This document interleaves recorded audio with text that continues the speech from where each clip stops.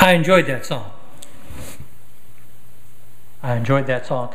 Even though if you, if you don't get to see the video, like Ed said, you get to hear the words. And I enjoyed that song. It just, it goes in very well with what I've been uh, teaching you the times I've been here. Romans chapter 8. If you have your Bibles, please turn to Romans chapter 8. Uh, we have two more, two more teachings in Romans chapter 8. It talks about a confident redemption. Being confident that once I accept Jesus Christ as my Savior, I have His redemption. You know, and Paul, the great apostle teacher, uh, has also established for us that, you know, right off the bat, first four verses, there is no condemnation once I receive Jesus Christ, take Him as my Savior, walk with Him daily, then I am confident of my redemption through His blood.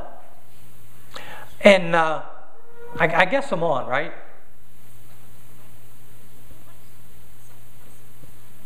I'm kind of getting looks out there. I hope I'm on because uh, you guys know me well enough now. I move around a lot. I'm turned on up here, Randy. I can probably talk loud enough you're going to hear me anyhow. Okay? Two things you need to be a, a pastor gift of gab and a big mouth, and I've got them both, so it's not a problem. Okay? All right. So, as we're looking at this, we've already realized there's no condemnation in the forgiveness and grace that Jesus Christ gives us when we ask Him for it. And we've also learned that uh, we have the Holy Spirit that also helps us in our. Hey, there we go. Somebody found the right button. That helps us in our walk with the Lord. And we also have the confidence that once we receive Jesus Christ as our Savior, God adopts us into our family. We've already learned that. And then we've learned that we have a confident hope waiting for us in eternity. And that this confident hope has led us to a confident glory. And through that glory that is awaiting us in heaven, we know that that glory far outweighs anything, any suffering, any persecution, anything that we will go through here on earth.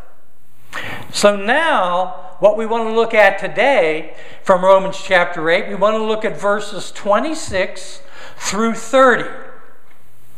Because the, the Holy Spirit and this confidence of knowing God's glory and the confidence of an eternal hope in heaven also is very viable and very real for our lives here today.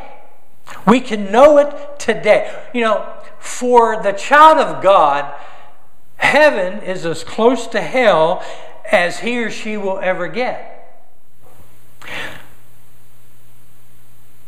I said that wrong. Excuse me, I need to back up. I said that wrong. For the child of God, earth is as close to hell as we will ever get. And for those who will not accept Jesus Christ as Savior and Lord, earth is as close to heaven as that person will ever get.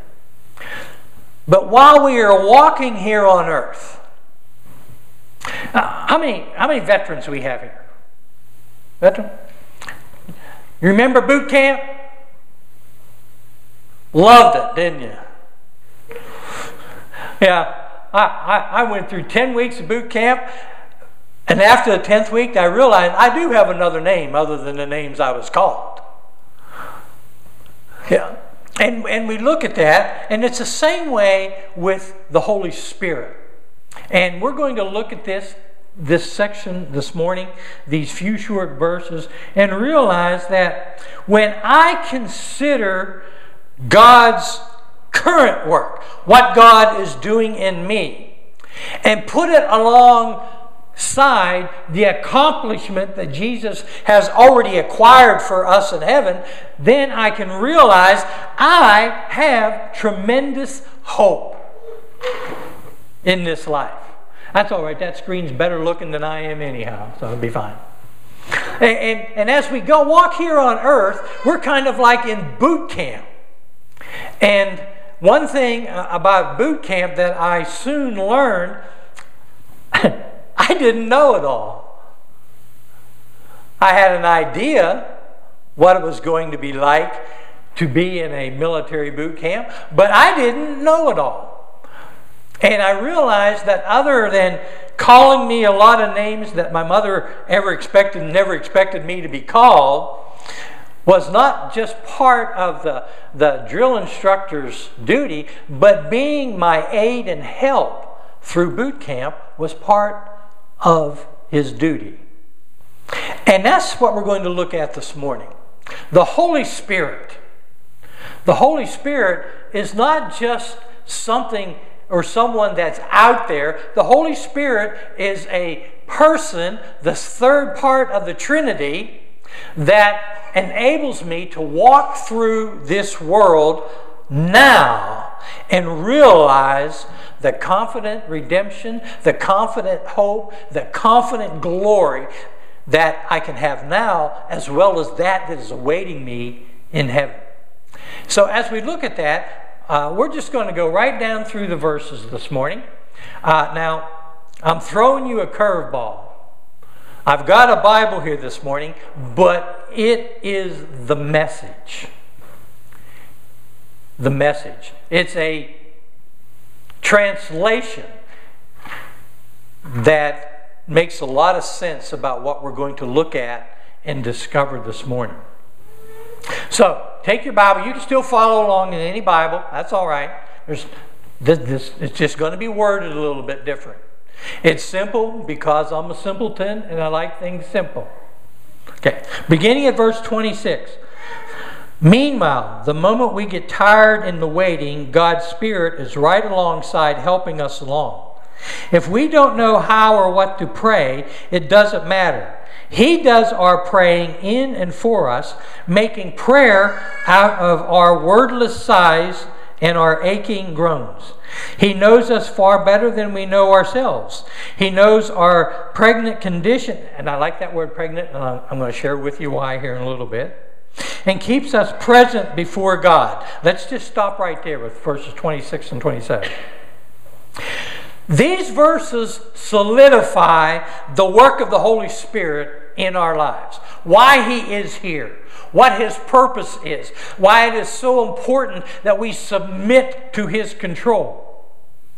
And you know, sometimes I can have a tendency to be slightly bullheaded. If Sue was here, she'd be screaming amen to the rooftop, man. And when I was in boot camp, I was 18 years old, you know, had the world by the seat of the pants with a downhill pool, you know, and everything was going well. I had it together. I knew what I was going to do in the Air Force once I got through boot camp and all that stuff. But boy, did I get turned around in a hurry. You know, when the DI stood up there that very first morning that he had 54 of us in a room Mm, a little bit smaller than this room, sitting on the floor, and he looked at us all and he said, For the next 10 weeks, I will be your God. I wasn't a Christian then. You know, didn't really know anything about salvation. But I thought, no, this guy isn't going to control me. And we do that same thing with the presence of the Holy Spirit. The Holy Spirit's been around since the creation of time and even before. You know, you look in Genesis chapter 1, it says the Spirit was over the land or over the world of that time. He was there, always has been there. He just hasn't taken part of my life or taken a part in my life until I allowed him to do that.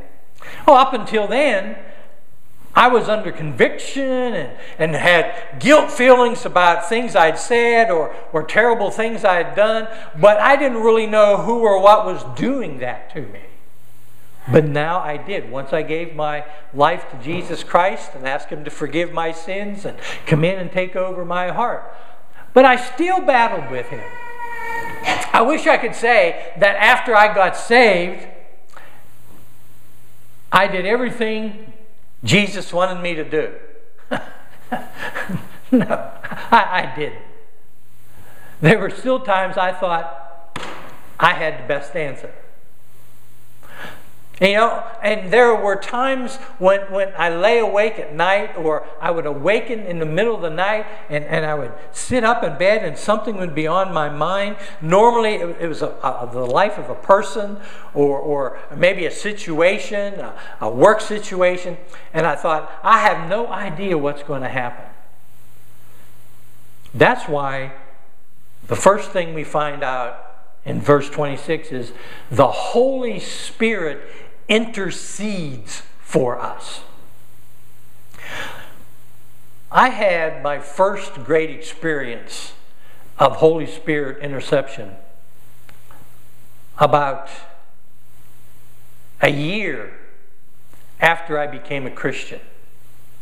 I'd heard messages and teachings on the Holy Spirit, but I was driving from Clarion County to Cambria County. I was leaving my home, which is about 10 miles from here, and going to a little place called Blandburg, which was about 100 miles. And working an 11 hour shift and driving back home. And I was getting physically and emotionally exhausted. And I left my house one morning about 3:15 and I got about still two, two and a half miles down the road. And all of a sudden, I open my eyes, and my little Volkswagen is sitting in a snowbank. To this day, I have no idea how it got there. I don't know if I fell asleep. I just awoken up, you know. So I didn't I, or, or I, the roads had snow and packed ice on them, or did I slide off the road? I don't know. All I know was I open my eyes, I'm sitting there with my hands on the steering wheel, the motor's running, and I've got snow halfway up my door. So I shut the Volkswagen off, roll down the window, crawl out the window, and walk out onto the road. I walk back to the house, wake up Sue. We take my four wheel drive truck down in a chain. We pull the Volkswagen out of the snowbank. It's sitting on the road, and I sat down in the middle of that road and I just bawled and bawled like a baby. I said, Hon, I'm losing it. I said, I don't know how this happened. And it scares me. I need some help. Be praying for me. And she told me, she says, when you come home tonight, you go to Pastor Mike's house. Mike Duty was a pastor of the Oakland Church of God at the time. Said, you go to his house. I'll have you clean clothes there. You can shower there and I'll bring you in some food, and then we can go to church. It happened to be on a Wednesday, of all things, you know. So I did. And while I'm eating, I showered up, and while I'm sitting there eating before church started, Mike started talking to me about the Holy Spirit. He says, Donald, when he called me Donald, I knew something, something was coming. He says, Donald, you need to submit to the presence of the Holy Spirit because you don't have the strength physically, emotionally, and spiritually to keep on doing this. No. I think that's the first Wednesday night church service I was ever in where I had an altar call. And I was the only one at the altar. but I wanted the Holy Spirit to take over my life. Why? Because the Holy Spirit intercedes for us. Paul says, in our heavy sighs and in our groanings. Now, that doesn't mean that, that I'm going to go down to the altar and grumble and growl and make unintelligible things. No, it means the groanings of my heart. The times I wake up in the middle of the night and all of a sudden someone's name pops into my mind that I need to contact that person or say a prayer for that person. Or maybe it's a situation that, that, that, that I'm going through that, that all of a sudden the Lord wakes me up, the Holy Spirit wakes me up. I came to realize that I don't always know how to put into words everything that I want to take to the Lord in prayer. And I don't always voice the heaviness that's upon my heart. I don't always ask for help. Now, if I ask most ladies out there that have husbands, I would ask you Is your husband very good and readily asking for help when he needs it? In most cases, it would be, Are you kidding? You know, that's it's a guy thing, I guess.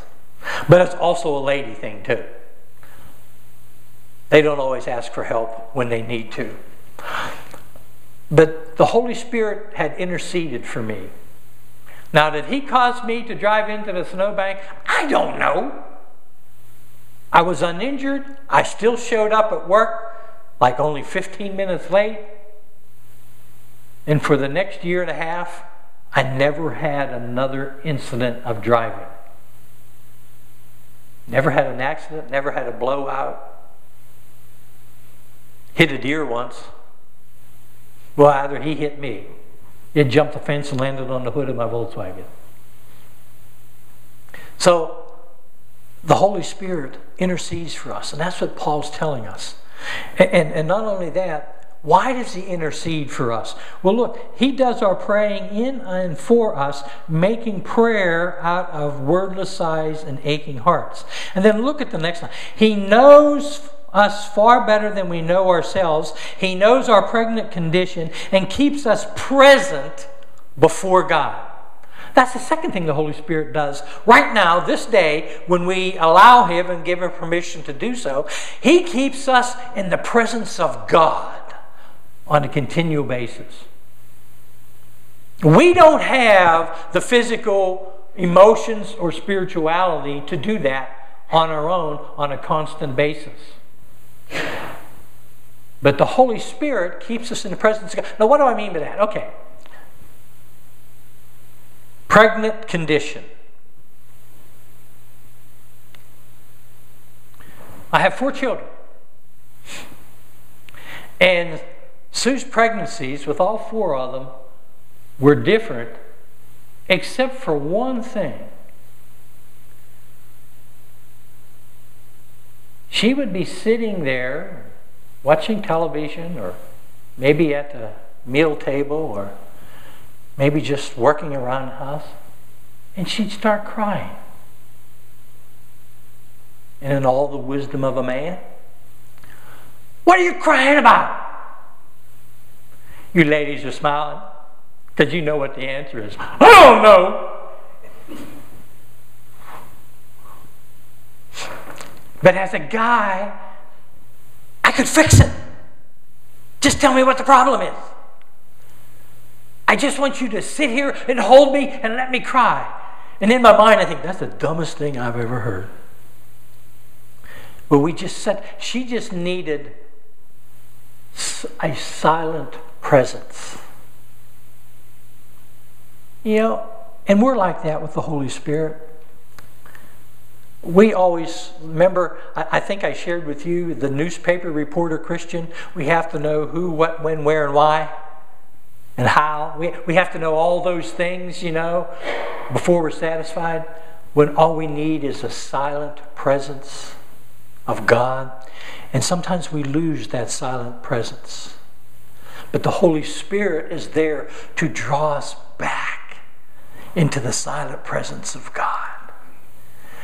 And I'm glad He does. Because I'm still not real good about asking for help. And I'm still not real good about always thinking I have to fix it. But the longer I've walked with Him, especially in the lives of people, you know, when someone says, Pastor, would you come and visit me? You need to talk to my husband. You need to tell him he needs to get saved. I said, Well, have you told him that? I said, Yeah. I said, Then why would I want to tell him what he already knows? I sit there and talk with him. We'll drink coffee, whatever, you know. Tell stories. He knows what he needs to do, especially if you and your family members have told him that. What I'm going to do, I'm going to tell him, I'm going to say, I'm going to pray for you. And I'm going to pray that the Holy Spirit tears you apart Man, I get looks like, is that a good prayer? Oh, yeah. When the Holy Spirit tears you apart, it's a great prayer. It's a heavenly prayer. You know, and, and, and He not only intercedes for us, but He keeps us present in the presence of God when maybe we're not doing. You know, I, I, wish I could say that I've walked with the Lord with all the wisdom of God. No. And, and, and how do I know that the Holy Spirit is interceding in my life? How do I know that the Holy Spirit is trying to draw me closer to God? First thing, conviction. Have you ever did something that you know you shouldn't have done and then a time later you're convicted by it?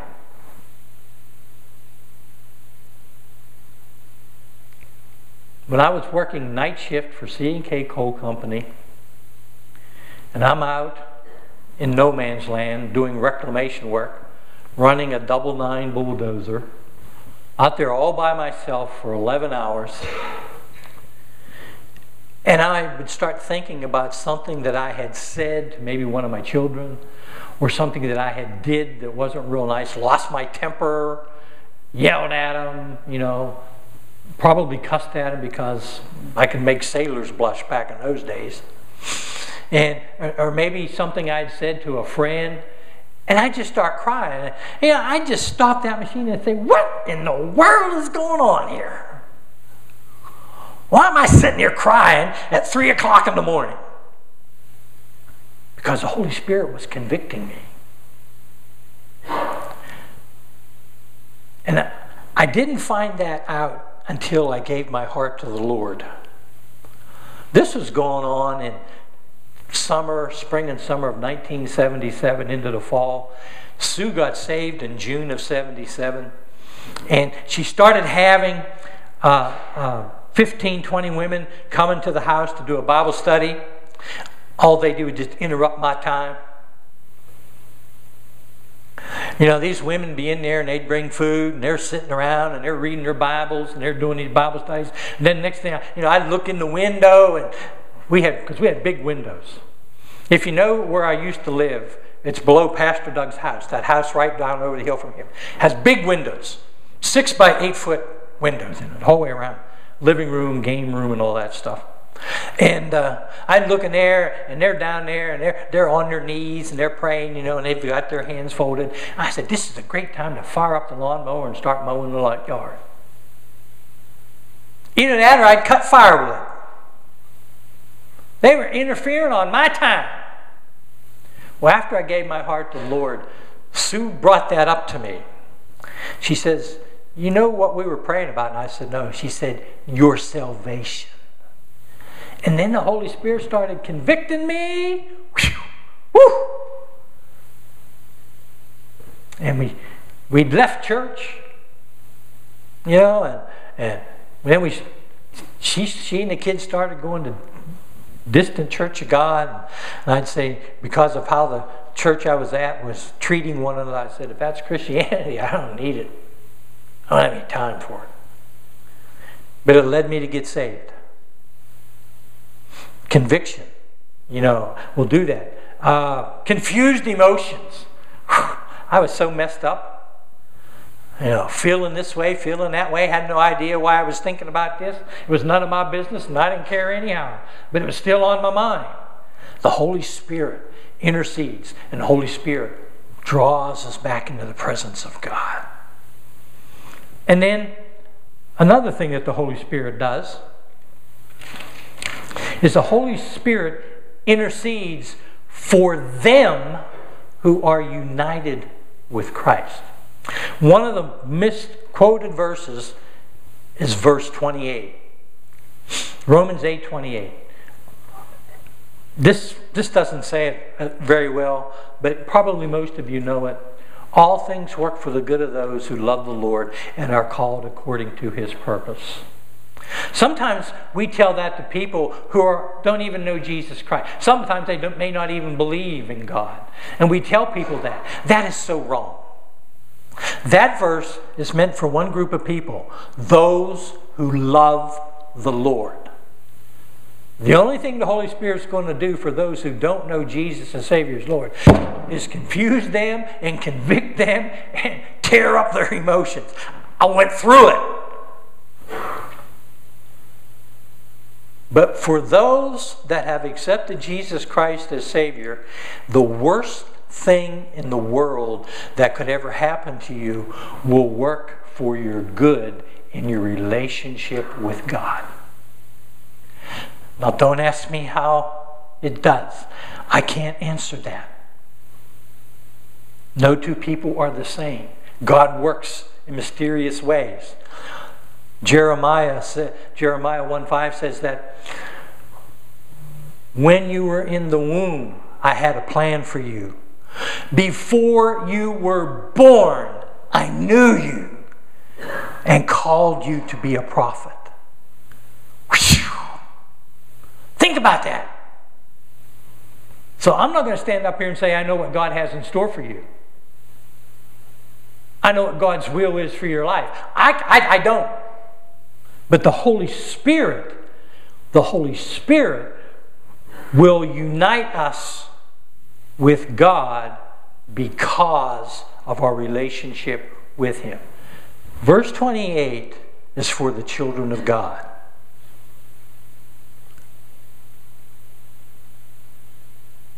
So we shouldn't be throwing it out there until we know what the person's relationship with God is because we'd be sharing an untruth with them. Other than the fact, I will tell them, the Holy Spirit, I hope He tears you up. I hope He makes you so miserable you don't have any place to go but to Jesus. I mean, that's what He did in my case, and maybe some of you have stories like that too. But that's what the Holy Spirit does.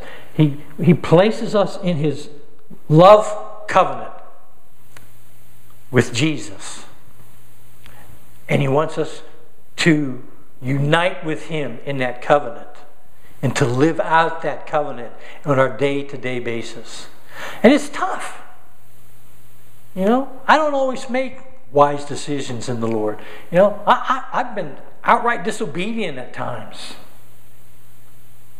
Thank the Lord as I draw closer and closer and closer, and His love becomes stronger and stronger and stronger, those times become less and less and less. And I thank the Lord for that. I thank the Holy Spirit for that. But that's, that, that, that's what happens. You know, He wants us to become more and more like Jesus. 1 Corinthians chapter 2 deals with our minds. He wants us to have the mind of Christ. He wants us to think like Jesus thought. How did Jesus think? Read the red letter words if you have them in your Bible. Those are the thoughts and the actions of Jesus. And then, and then you go into uh, the Philippians, the whole short book of Philippians talks about what we are to do with our attitudes.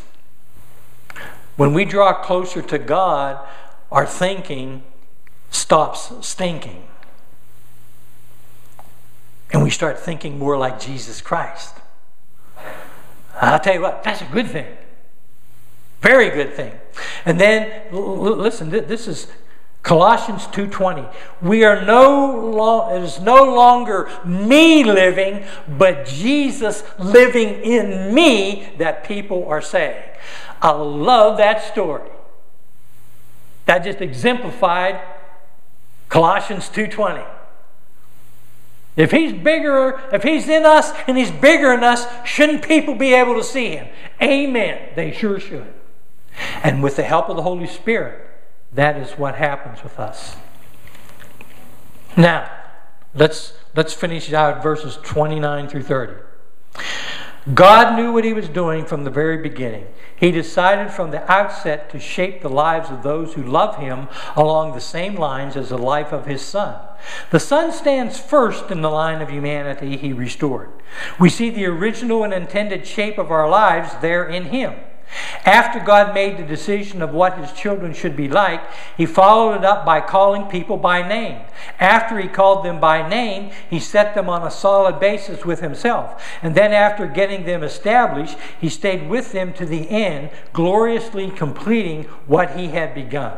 Now, in some, in some of your translations, it may talk about selection, election, or predestination, predestined.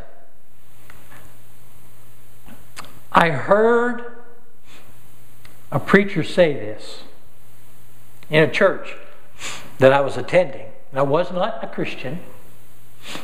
I'd go into hell in a heartbeat. But the preacher stood up and said, There are some that are predestined to be saved and some that are predestined not to be saved. That's false. All of us are predestined to have the choice to choose Jesus Christ as Savior. Only God knows those who will not do it. That means for me, I need to be telling everyone about the grace, forgiveness, and love of Jesus Christ. Because I don't know. There used to be a Christian song out several years ago. I think it was called The 15th Time or something like that. I don't even know who sung it. It was a contemporary Christian song. But it talked about witnessing. That sometimes it takes maybe 15 times of good testimony for someone receives Jesus Christ. And we don't know when we're testifying or witnessing someone if that wouldn't be the 15th time. So that's the importance of doing you know and, and, god god has chosen us. You know when we give our lives to jesus christ we receive a spiritual gift from the holy spirit. And if you read in ephesians and romans and 1 corinthians uh, chapter 12 you can see about all the different kinds of spiritual gifts. But we get a spiritual gift from god you know, I can't go to a college and learn one, like I've heard some pastors say, but God gives me that. In other words, He elects me, He selects me, He chooses me to do something and gives me a gift with the ability to do that. For me, it was a gift of teaching. That gift hasn't changed in almost, in, in almost 40 years. And quite frankly, I don't want it to change. I like teaching God's Word. Some, He gives a gift of healing. Now, I'm not saying that there are those that can lay on hands and heal people. That doesn't heal people. The prayers of God's righteous people bring healing. I've seen an exorcism. The young man who prayed over the possessed person did not remove that demon. His faith that God would remove that demon removed it. Scared me to death. And I'm glad I didn't get that gift from God. And all these other kinds of gifts that are out there kindness, the gift of, of hospitality. Everything is how We receive gifts. And the Holy Spirit, when we allow Him to control us, controls that gift and helps us to use it to the glory of God. But not only that, those that we use those gifts with benefit also. I don't believe the doctor healed you, but I believe God used that doctor to heal you. Just like I had no reason why I was crying and boo-hooing around and thinking of all this weird stuff, my family and stuff at night. But after I got saved, I knew that God's Holy Spirit was selecting me. And then I believed that God was going to take me into the ministry. I wasn't sure. So I went to Pastor Mike and I said, Mike, I think God wants me to go in the ministry. He says, Well, what kind of things can you do? I said, Well, I was a farmer. I worked for a carpenter contractor. I've sold insurance. Uh, I was in the Air Force. I could probably learn a foreign language. I, I, learned a couple languages while I was over in Italy, you know, and, and, and, you know, I can do a lot of things. He said, Okay, I'll pray with you. So for the next year, I probably asked him three or four times because the yearning was in my heart. And he always asked, Well, what can you do? And I'd tell him. Finally, after about a year of this going on, he went over there and I said, Mike, I really think God's calling me into the ministry. Well, what can you do? I've already told you everything I can do, but the only thing I want to do is serve God.